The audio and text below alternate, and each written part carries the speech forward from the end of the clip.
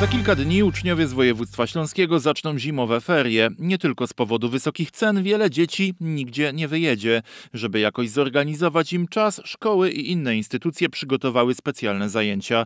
Przykładowo w chorzowskim skansenie odbędą się m.in. warsztaty z wykonywania breloczków, zabawa karnawałowa, spotkania z magią czy Dzień Babci i Dziadka. Z kolei 19 stycznia będzie można odwiedzić zagrody i nakarmić zwierzęta, które mieszkają w skansenie. Będzie też sporo o tradycjach i historii. U nas można spotkać się na przykład z góralką, czyli nie musimy jechać w góry.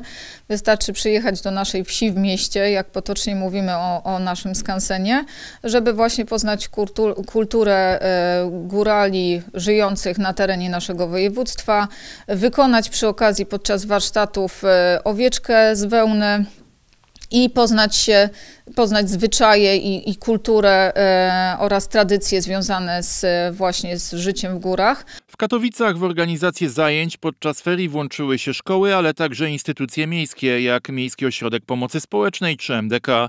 Organizowana będzie także akcja Feria z książką. Szacujemy, że tylko jeśli chodzi o te placówki edukacyjne, około 6,5 tysiąca dzieci będzie mogło wziąć w udział w tych różnorakich zajęciach. To jest pełen przegląd. Myślimy, że każdy znajdzie tak naprawdę coś dla siebie, bo z jednej strony to są zajęcia artystyczne, warsztaty, na przykład kulinarne, spotkania z książką, rozmowy, prelekcje, e, zajęcia plastyczne, zajęcia sportowe, różne turnieje. Z kolei w Sosnowcu odbędą się m.in. półkolonie, ale także sporo zajęć przygotowały miejskie jednostki kulturalne. W zasadzie w każdej naszej jednostce są przygotowane e, zajęcia, m.in. warsztaty teatralne, które organizuje Teatr Zagłębia, w MDK Kazimierz też zajęcia m.in. z ceramiki.